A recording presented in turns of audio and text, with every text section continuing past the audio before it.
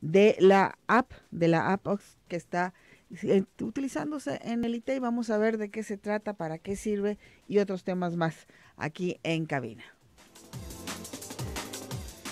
Y también hablaremos de las próximas elecciones en Tlaquepaque, que serán el próximo 21 de noviembre. Son las 9 con 6 minutos. Iniciamos esto, es cara a cara. Noticia, análisis y debate. Eso es cara a cara. Información de primera mano en voz de sus protagonistas. Escucha cara a cara. Cara a cara. La entrevista.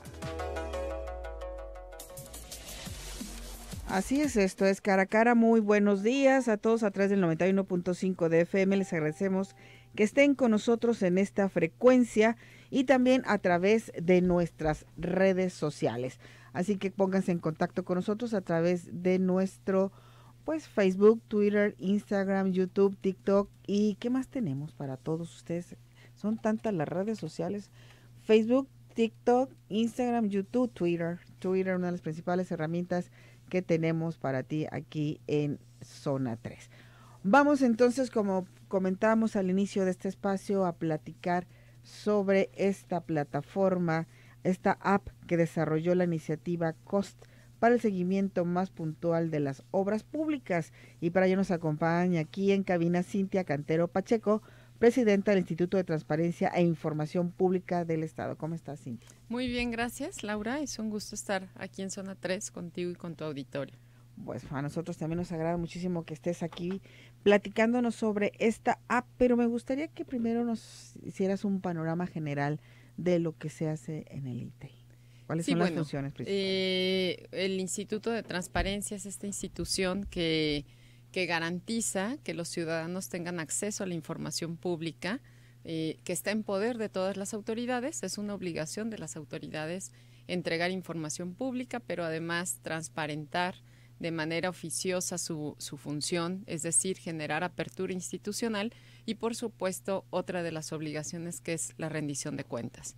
El Instituto de Transparencia es vigilante de estas responsabilidades que tienen cada una de las autoridades. En Jalisco tenemos un universo de 504 autoridades a quienes vigilar, a quienes exigirles rendición de cuentas, a quienes solicitarles información y también solicitar que protejan nuestros datos personales. El ITEI es el órgano garante de transparencia, de acceso a la información, de protección de datos personales y, eh, y, busca generar esta rendición de cuentas por parte de las autoridades en el Estado. Y bueno, eh, pues básicamente nuestro quehacer institucional se basa en, en, en, ser este mediador entre la autoridad y el ciudadano para que esto ocurra. Por lo tanto, o por lo que nos acaba de decir, cualquiera, cualquier persona que tenga interés en conocer a cualquier, cualquier este arrojar cualquier dato que tenga cualquier institución o cualquier funcionario, ahí podemos acceder. Sí, definitivamente el acceso a la información eh, se ejerce a través de solicitudes de información que tiene o que puede hacer el ciudadano y lo actualmente se puede hacer de manera muy sencilla, eh, dándose de alta en la Plataforma Nacional de Transparencia. Puede ser, eh, se da de alta en esta plataforma y puede solicitar información a cualquier autoridad desde esta plataforma en el país. Son aproximadamente 8.000 autoridades las que están registradas y bueno, de estas 8.000 en Jalisco son 504 a quienes eh, se encuentran actualmente en la plataforma y el ciudadano de manera completamente fácil, sencilla, gratuita, puede solicitar información incluso con un solo clic a 32, 32 eh, solicitudes al mismo tiempo. Eh, básicamente, el, solicitar información no necesita identificación. El ciudadano no tiene que decir para qué quiere esa información, para qué la está pidiendo, sino simplemente pedirla y le tiene que llegar en Jalisco en el octavo día.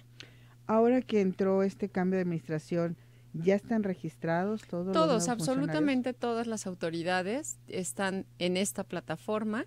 Ya existe un proceso aproximadamente de... Eh, de casi cinco años en que las autoridades están registradas en esta plataforma y bueno, ha tenido mejorías la plataforma porque evidentemente es un mundo de autoridades y de información, o de archivos públicos que se encuentran depositados en la misma y por lo tanto pues es necesario que tenga actualizaciones y que tenga mantenimiento. Sin embargo, hasta hace un mes teníamos dos sistemas electrónicos en los cuales el ciudadano podía pedir información.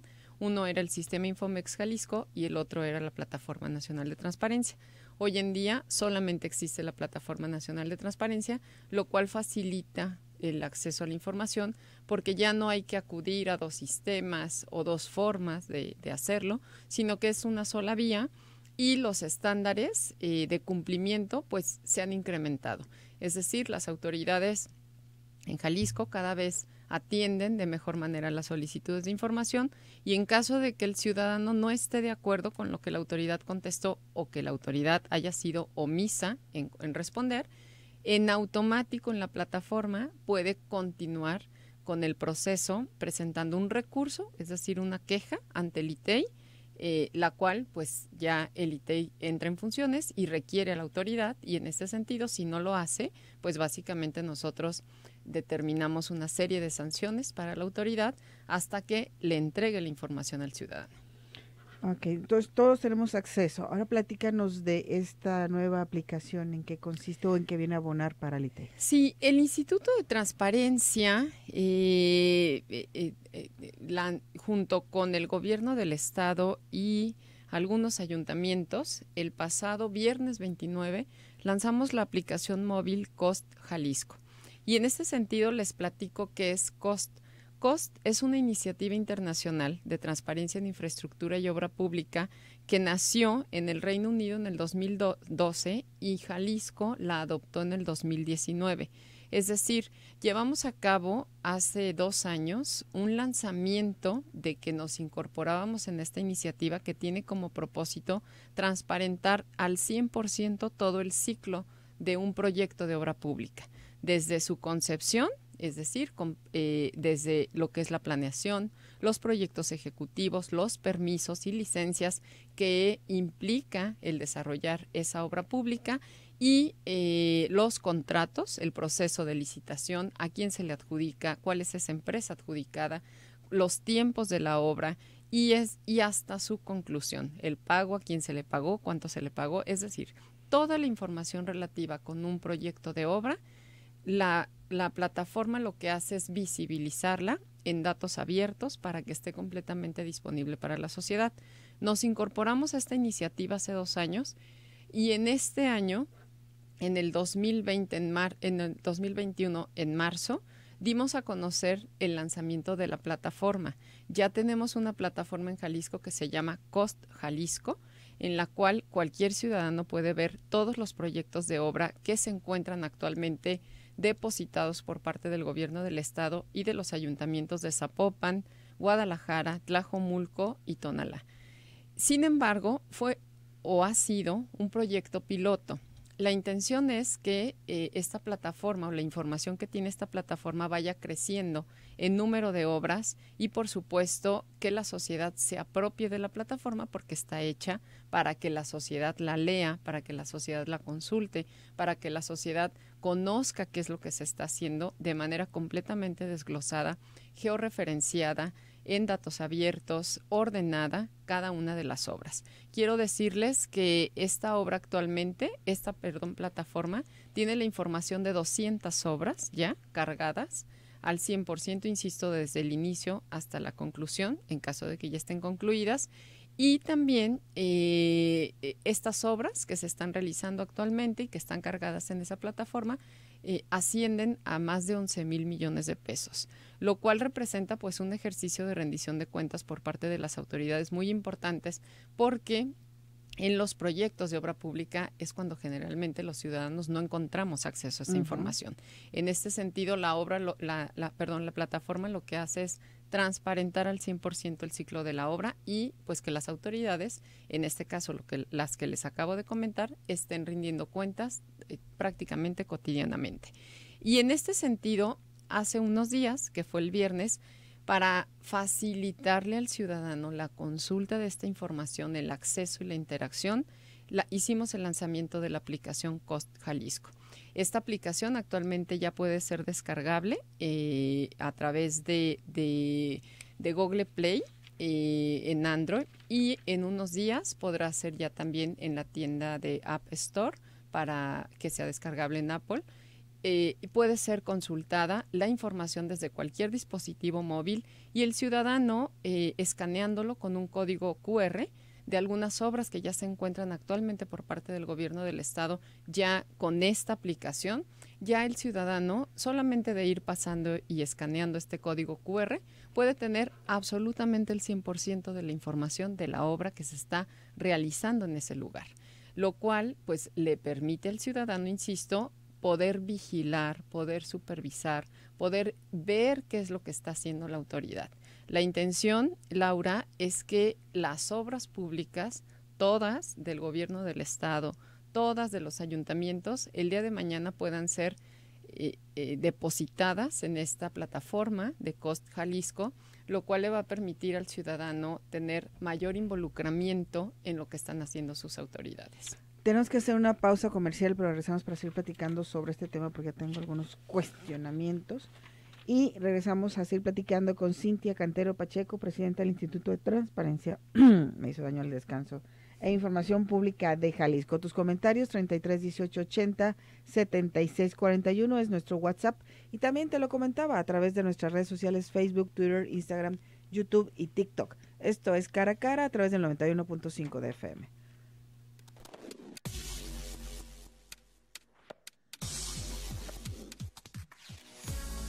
Mantengámonos cerca. Línea WhatsApp 33 18 80 76 41. 91.5 de FM, zona 3. Pega Duro, apoyando al talento mexicano, presenta. Saúl Canelo Álvarez y Caleb Plan ya hicieron oficialmente su arribo al Hotel MGM Grand, cuya arena será sede de la pelea en la que alguno de los dos pudiera ser el primer campeón unificado de los pesos semicompletos este sábado y Saúl deja claro que no subestima al estadounidense. Un gran, gran peleador con muchas, con muchas habilidades, pero eh, sé también lo que yo tengo y, por eso estoy confiado, pero no, jamás, jamás lo subestimo. Sobre el ring se va a pegar duro y nosotros nos encontramos desde Las Vegas, Nevada, gracias al apoyo de... En Pegaduro te apoyamos con asesoría especializada para que elijas el producto ideal para tu proyecto. Si vas a aplicar densificador Pegaduro en tu superficie de concreto, recuerda que debes mantener la superficie húmeda por 40 minutos. Búscanos en redes sociales o en pegaduro.com. Pegaduro, el adhesivo más seguro. Pegaduro, apoyando al talento mexicano, presentó. Se acerca el buen fin y las buenas compras van a estar en Coppel, AppCoppel y Coppel.com. Prepárate para encontrar las mejores ofertas. ¿Buscas una pantalla nueva? ¿Quieres renovar tu sala? Haz todo realidad con las grandes ofertas que tendremos para ti. Este buen fin, encuentra en Coppel todo lo que buscas y mucho más. ¡Te esperamos! Utiliza tu crédito Coppel y estrena. Mejora tu vida. Coppel. Vigencia del 10 al 16 de noviembre de 2021. Esta es una gran oportunidad para hacerlo diferente, porque son autoritarios, prepotentes y se tienen que ir. El PAN sí sabe gobernar y yo sí puedo darle nuevo rumbo a Tlaquepaque. Déjalos que se sigan peleando entre ellos. La decisión es ahora. Rescatemos a Tlaquepaque. Ni Chana ni Juana. Con Chayito, Tlaquepaque sí gana. Este 21 de noviembre, vota por Chayito, candidata a presidenta municipal de Tlaquepaque. Vota PAN. La vacuna contra la COVID-19 es segura, universal y gratuita. Nadie puede vendértela. La información pública del Estado y estamos haciendo hincapié en esta app, esta app Cost que se está apenas implementando y se está dando a conocer y cuáles son las funciones que hay o que podemos acceder con ella. Sobre todo nos comentabas que es la infraestructura. Pero también hace un momentito que estábamos durante el corte, yo le preguntaba a Cintia que cuáles son las consultas que más realiza la ciudadanía. Sí, lo que más pregunta la, la, sociedad es relacionado con los contratos, hablando de, de, contrataciones o de licitaciones, los contratos que realizan las autoridades eh, para hacer compras o para precisamente contratar obra pública. También otra de la información que se pide muy seguido es lo, lo relacionado con los permisos o licencias de uso de suelo, de construcción que eh, está, eh, autorizan más bien u otorgan los ayuntamientos. Pero en realidad hay una gran diversidad de información pública que se pide a las autoridades desde la Secretaría de Salud, eh, Educación, Seguridad Pública, es de los clientes más frecuentes porque pues básicamente se pide todo lo relacionado con estadísticas de incluso pues personas desaparecidas, de fosas clandestinas, de armamento, de incluso los policías que tienen aprobado el examen de control y confianza. Son algunas de las temáticas que más pide la sociedad. Eh, eh, en temas de la Universidad de Guadalajara, del Hospital Civil de Guadalajara, de eh, temas de la Secretaría del Transporte Público. Es decir, todo el tiempo la sociedad está pidiendo. Jalisco es, si no el primero, el segundo estado donde más se pide información pública en el país. Es decir, tenemos una sociedad que le interesa involucrarse, que le interesa estar informado y conoce también el medio de acceso a esa información. Y bueno, pues ya hoy en día tenemos también este universo de autoridades en Jalisco que conocen que tienen esta responsabilidad y que la tienen que atender, ya sea en, el plazo de los ocho días que la ley determina, o bien ya cuando el ITEI les requiere, ¿no? que son unos días después, en cuanto el ciudadano presenta su recurso su queja. Toda esta información ya nos platicabas al inicio, yo como ciudadano voy, la consulto y puedo hacer uso para lo que yo necesite. Sí, completamente. La información pública es patrimonio de, de, los ciudadanos, de la sociedad, y en este sentido nos pertenece, es un bien público, tiene que ser cuidada definitivamente, sobre todo aquella que, que, que contiene datos personales, información confidencial, las, eh, ni las autoridades pueden otorgarla. Es decir, tienen que generar documentos en versión pública cuando los documentos tengan o contengan información relativa a datos personales, porque hay que cuidar la información de carácter personal, ¿no? Todo lo que tenga que ver con nuestra información eh, de nombres, domicilios, teléfonos, eh, patrimonio, al menos de los ciudadanos, y que esté en poder de las autoridades, esta información debe de estar resguardada. Un ejemplo muy claro, Laura, una sentencia eh, que emite eh, cualquier juzgador en, Jalisco y en todo el país, pues es completamente pública y de acceso público. Sin embargo, en este documento tiene que generarse una versión pública donde se teste, donde se, resguarde la información de los, lo, pues en este caso de las personas o nombres que aparezcan ahí, ¿no? Esta información debe de, estar guardada, pero el proceso, la toma de decisión, las reflexiones que llevó a cabo el juzgador para emitir eh, o tomar tal decisión, tiene que estar completamente abierta y de acceso a toda la sociedad. Mira, aquí te mando a felicitar ese Pepe. Felicidades a Cintia. Muchas gracias. Muchas gracias. También. Adelante, Sí, perdón, este, Laura, y decirles de esta aplicación Cost Jalisco que ya está, ya cualquier ciudadano puede entrar actualmente la puede descargar y desde este momento ya puede consultar la información de 200 obras. Esto no es menor. Eh, Jalisco es el único estado que se encuentra incorporado en esta iniciativa internacional, insisto, al nivel de países, porque 19 países están en esta iniciativa y eh, es un gran esfuerzo que se ha hecho por parte evidentemente de las autoridades participantes porque es romper paradigmas. Siempre se, se, busca cumplir con lo que la ley de transparencia establece. Sin embargo, esta plataforma muestra información que va mucho más allá de la ley de transparencia. Y esto, eh, insisto, esta, este esfuerzo que ha sido una suma de, de trabajo colaborativo entre el ITEI y estas autoridades, pues vale la pena también que el ciudadano lo aproveche, porque a veces se hacen grandes esfuerzos y se quedan ahí. Y, bueno, esta plataforma es para el ciudadano, pensada en el ciudadano, en facilitarle esta información, este acceso. Y eh, también quiero informarles, Laura, que el viernes se hizo extensiva la invitación a los 125 municipios, así es que esperaríamos que el siguiente año tengamos información, no nada más del gobierno del estado y de algunos municipios de zona metropolitana, sino del interior del estado. Mira, ya nos están solicitando la liga de esta cuenta, sí, página. es de Cost Jalisco, en, en, la plataforma es www.costjalisco.org.mx. Y la aplicación, pues es descargarla literalmente en, en Android, donde les comenté, y en unos días también estará en Apple, eh, es descargarla como aplicación móvil Cost Jalisco. Cost nada más se pone Jalisco. Ya se los estoy compartiendo a través del WhatsApp y quien que lo solicite con mucho gusto, aquí se los puedo estar compartiendo. Dice por aquí Víctor, buenos días, tengo una duda, ¿es normal? Ah, no, esto tiene que cosa. Sí, ah, pero sí, se pregunta, dice, ¿es normal que un vehículo que tiene la leyenda atención para víctimas del transporte público esté diario por las noches afuera del centro de rehabilitación? Mm, dice, creo que no quisiera saber qué opina Cinti. No entiendo la, la, relación. con el tema. Ojalá y nos pueda Pero se le pudiera preguntar a la institución eh, por qué todos los días está ese vehículo ahí. Exactamente. Eso sí se pudiera generar vía solicitud de información. Bueno, pues nos siguen solicitando la, la, el link, yo se los estoy compartiendo.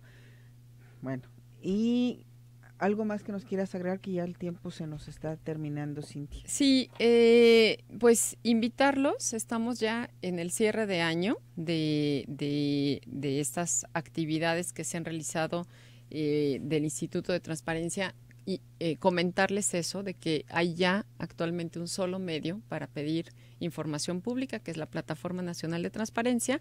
En este medio, el ciudadano que no reciba la información en Jalisco en el octavo día, pueden automático presentar su queja sin salirse de la plataforma. Ahí mismo pide eh, presentar una queja y el ITEI en automático comienza a atender eso para que tenga la información en los siguientes días.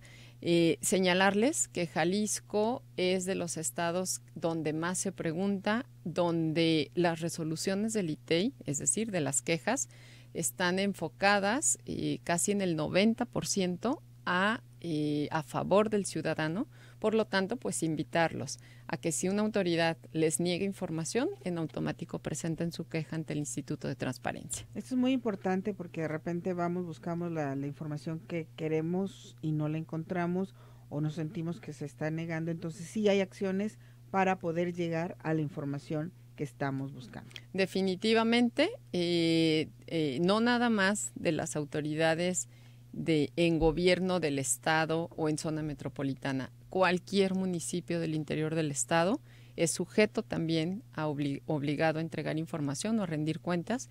También los organismos descentralizados del, del interior del Estado y también fideicomisos públicos, partidos políticos, órganos autónomos como el IEPC, el Tribunal Electoral, la Comisión de Derechos Humanos, es decir, a cualquier autoridad pública se le puede pedir hoy en día información y pues están obligados a entregarla.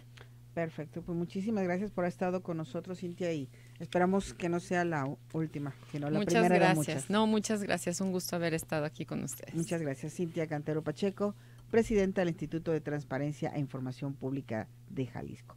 Vamos a la pausa, regresamos.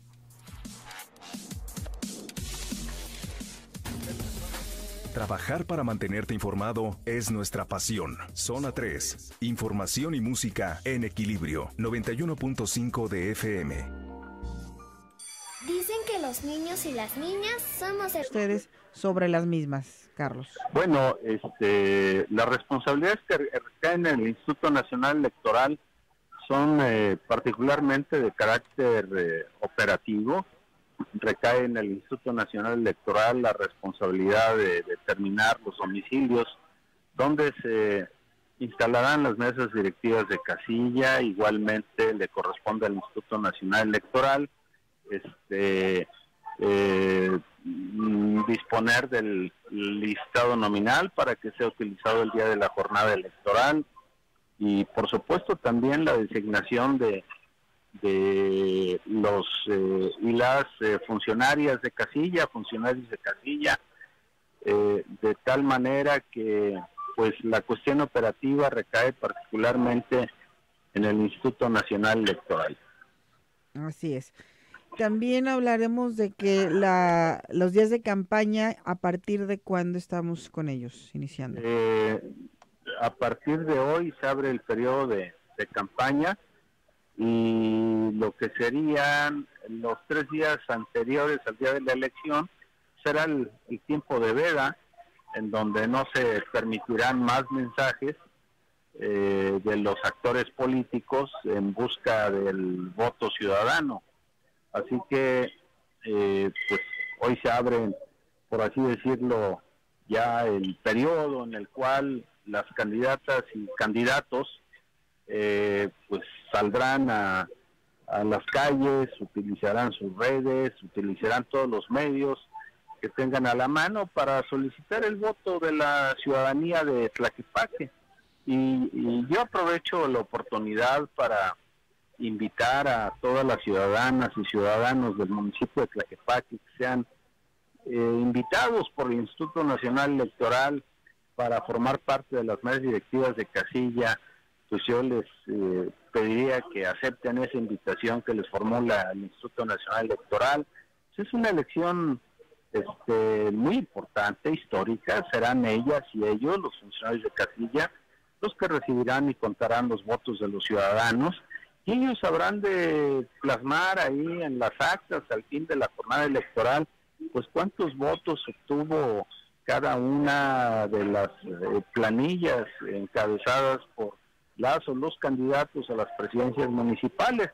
Y es que nuestros procesos electorales son procesos eh, ciudadanizados, son los ciudadanos finalmente nuestros nuestros vecinos, quienes viven en nuestra sección electoral, los que eh, desempeñan esta tarea tan importante. Por eso esta invitación para que participen en este evento, eh, en esta elección que pues eh, un proceso que se ha prolongado después de un proceso ordinario y que la sala superior determinó que debía nulificarse. En este caso van a ser entonces los mismos ciudadanos que estuvieron en las pasadas elecciones del 6 de junio. Este es nuestro punto de partida. Los mismos ciudadanos que fueron designados en la pasada eh, jornada electoral del 6 de junio eh, están siendo propuestos y este es nuestro punto de partida para realizar el trabajo que realizamos en cada una de estas etapas, que es eh, notificar este, en el sentido de que han sido designados y, este, y también eh, para que reciban la capacitación, ¿no? ¿Será el mismo número de casillas? Serán, sí, estamos partiendo de un número de 458, estamos omitiendo una casilla especial que en este caso no es eh, necesaria, la teníamos contemplada en ese, en ese distrito, de tal manera que nos vamos a quedar con 458 mesas directivas de casilla. Igual van a arrancar. es el mismo padrón, ¿eh? es el mismo listado nominal con el cual vamos a trabajar el día de la jornada electoral, el que tuvo el listado nominal que funcionó el día eh, 6 de junio bajo la lógica de que será el mismo cuerpo electoral el que estará eh, participando y con el derecho de, eh, este, de participar con su voto, de ejercer su voto. El arranque es igual, va a ser a las 8 de la mañana la instalación de casillas, todo, todo, todo será igual. Los horarios acostumbrados, a partir de las siete y media de la mañana podrán eh, armar ahí eh, todos los elementos que se requieren para eh, podernos y poder declararse instalada la jornada electoral arranque la jornada instalada la casilla a partir de las 8 de la mañana hasta las 6 de la tarde. Mira, si te parece, vamos a escuchar este audio que tuvo que ver con la sesión extraordinaria del Instituto Electoral y Participación Ciudadana la noche de anoche, la noche del martes 2 de noviembre, donde el Consejo General aprobó las plantillas de los municipios y plataformas electorales para la elección extraordinaria en San Pedro Tlaquepaque. La consejera presidenta Paula Ramírez Homer señaló que ya están listos y atentos a que se cumplan las reglas de contienda de esta contienda democrática en la elección extraordinaria más grande que se ha realizado en Jalisco. Para este importantísimo despliegue electoral, los partidos políticos han recibido puntualmente el financiamiento que fija en nuestra Constitución federal y local además de que cuentan con un total de 1.230 promocionales que se transmitirán en cada estación de radio y canal de televisión que se ven y escuchan en Tlaquepaque. Esta autoridad electoral estará vigilante y atenta a que se cumplan las reglas de la competencia electoral para garantizar elecciones libres, genuinas. Y bueno, obviamente esto implica un nuevo gasto para, para estas elecciones, ¿verdad? Particularmente es un gasto que recaerá precisamente en el ámbito del Instituto Electoral y de Participación Ciudadana. Y nosotros también, como ya lo mencionó la eh, presidenta de, la Universidad Paula Ramírez, la maestra Paula Ramírez, presidenta del Consejo General, eh, estaremos atentos también realizando el monitoreo de los mensajes para los efectos de que no se distorsione la, la equidad eh, con que debe darse las eh, campañas electorales, ¿no? Así es, finalmente será el mismo proceso que ya se vivió el día 6 de junio, solamente que ahora nada más enfocado al ayuntamiento de Tlaquepaque. Así es, diríamos que es la continuidad del proceso electoral local que se dio en este año y en el que hubo este bueno proceso electoral ordinario y en el que se dio la jornada electoral del 6 de junio y bueno, pues diríamos que es como un segundo tiempo, ¿verdad? Tiempos extras en términos futbolísticos. Pues sí, los tiempos extras que se vieron afectados, pues la esta esta elección ya. Así es. Pero bueno, hay que hacerlo, hay que sacarlo y tenemos que, que, tener un nuevo alcalde o alcaldesa aquí en el Ayuntamiento de Laquepaque para cumplir con lo que dispone la Constitución Política del Estado, la Constitución Política de los Estados Unidos Mexicanos, y que se integre la, autoridad eh, que estará al frente del ayuntamiento de Tlaquepaque. No solamente se va a votar por, las por, por el alcalde, ¿verdad? Habrá la votación, será en general, como, como lo sí, anterior. En general, este, incluye a los, a los síndicos, este, en fin, todos los que integran la, eh, la, planilla correspondiente. Bueno, pues estaremos al pendiente entonces. Claro que sí, y como siempre estamos a la orden y reiteramos esa invitación ¿eh? para que estén ahí las ciudadanas y ciudadanos que sean invitados para ser funcionarios de casilla. Perfecto, muchísimas gracias. Muchas gracias. Hasta, luego. Buen día. Buen día, el maestro Carlos Manuel Rodríguez, delegado del INE en Jalisco. Bueno, pues este próximo 21 serán las elecciones de este ayuntamiento. A partir de hoy empiezan las campañas. Estarán nuevamente haciendo su recorrido los candidatos para que para acercarse al pueblo, al, pueblo de Tlaquepaque, para que salgan a emitir su voto este próximo 21. Bueno, nosotros tenemos que hacer una pausa. Antes les comento algunos eh, eh, reportes que tenemos a través de nuestro WhatsApp y nos dice por aquí Juan Rodríguez, Buenos días para felicitar a estos policías que la están haciendo de policía vial en Avenida Américas y Jacarandas para agilizar el tráfico. Muchísimas gracias. También nos están solicitando todavía la liga para el, de la aplicación Coast de el Con mucho gusto se los hacemos llegar a través de esta misma línea. Hacemos la pausa, regresamos. Esto es cara a cara. Comunícate con nosotros a través del 33 18 80 76 41. Regresamos. Escucha, siente. Son las 9 de la mañana con 47 minutos. Vamos ahora a platicar con el doctor Marcos del Rosario, él es coordinador de la licenciatura en Derecho del ITESO. ¿Cómo estás, Marcos? Hola, ¿qué tal? ¿Cómo estás? Buenos días. Muy bien, muchas gracias. Hace un momento platicábamos con el doctor Carlos Manuel Rodríguez acerca de estas próximas elecciones, bueno, que hoy inician las campañas para elegir nuevamente, entre otros, al alcalde del municipio de Tlaquepaque.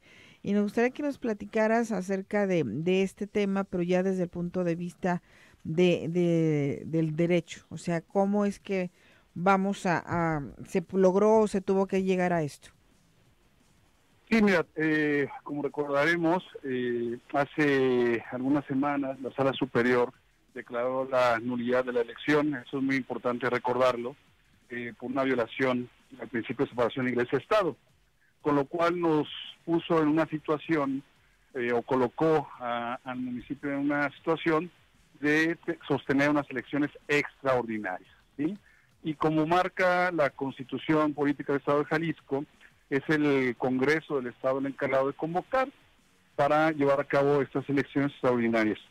Eh, en ese sentido, eh, lo que generó la, el conflicto o la, o la pugna eh, que derivó en la resolución de hace un par de días de Sala Superior en la cual se analizó el contenido de la convocatoria fue precisamente una convocatoria que buscaba tener un sentido de garantizar la paridad de género, el principio constitucional de paridad de género, y como todos sabemos, se estableció el requisito o más bien la obligación para los partidos políticos de registrar a mujeres candidatas.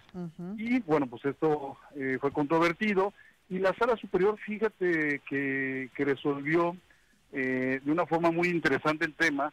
Fue una eh, votación muy reñida, fue 4-3, con lo cual pues no fue solamente la mayoría calificada para, para sostener esta sentencia y señaló que si bien es cierto, aplaudían la intención de, estoy parafraseando, ¿no? En términos la, sentencia, eh, la intención de garantizar el principio de paridad de género, pero eh, señala que esto hubiese sido deseable y a lo mejor hubiese sido innovador si las circunstancias hubieran suscitado durante una elección ordinaria. Es decir, que si el Instituto Estatal, por ejemplo, eh, en este proceso electoral pasado hubiese eh, establecido una convocatoria eh, con la cual solamente las mujeres participarían, dice la sala superior, hubiese sido algo innovador y a lo mejor lo podríamos haber garantizado. Si no hubiera tenido este antecedente, ¿no? De la anulación de una elección y ahora después esa disposición.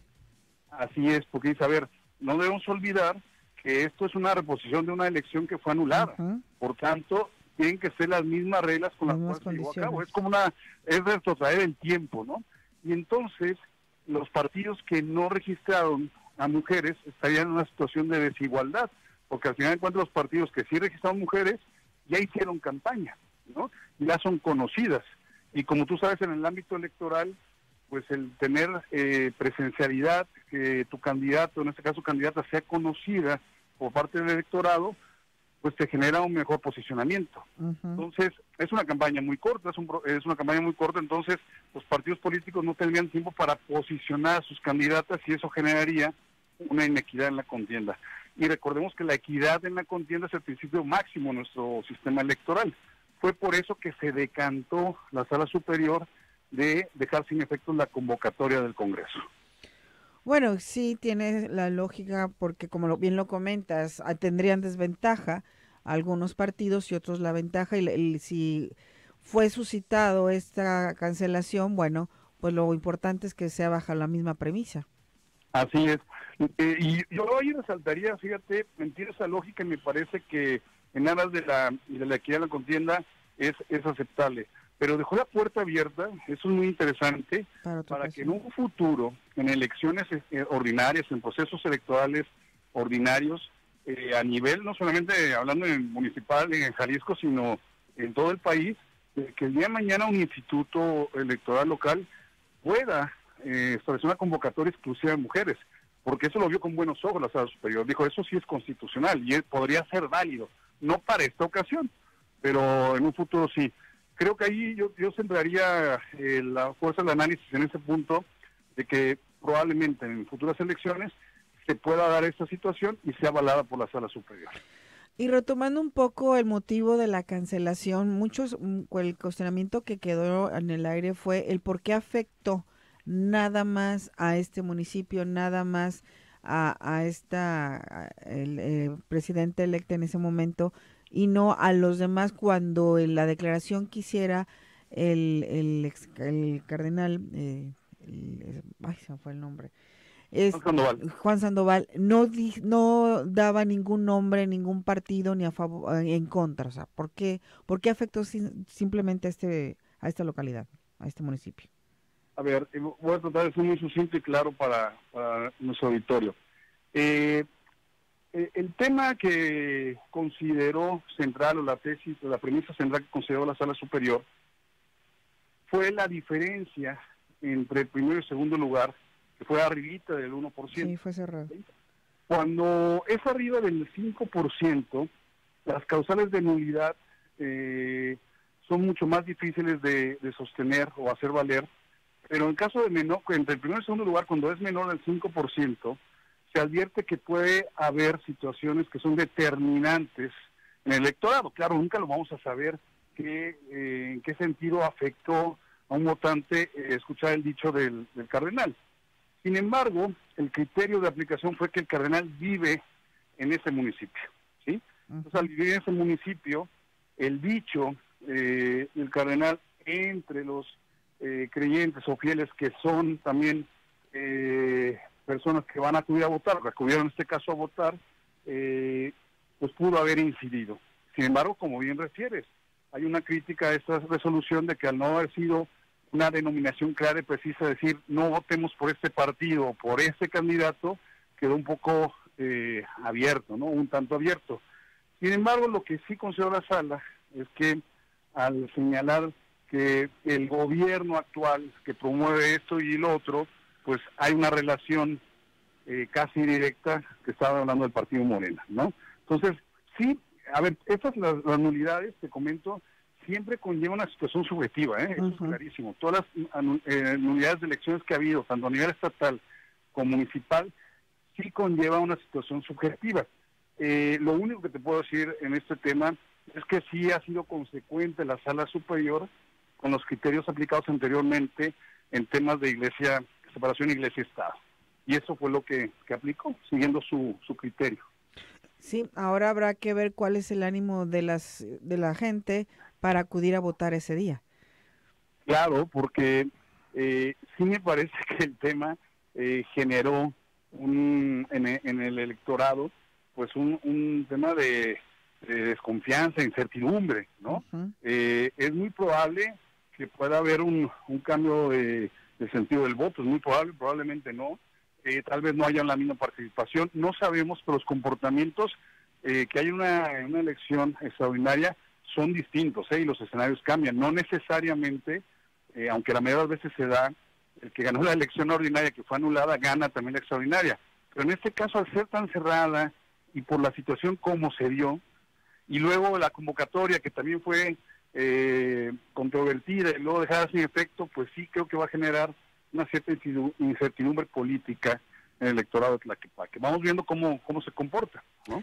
Sí, vamos a estar al pendiente de esta situación porque bien lo comentas.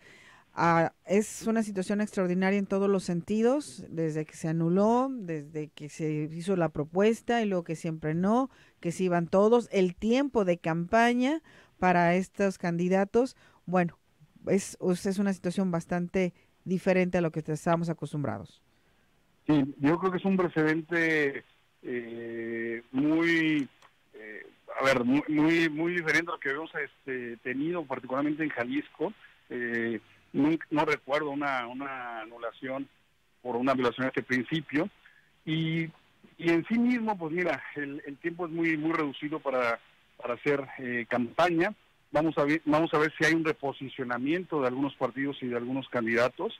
Eh, creo que al final de cuentas las propuestas que ya se dejaron entrever en la campaña son las mismas, el electorado ya conoce.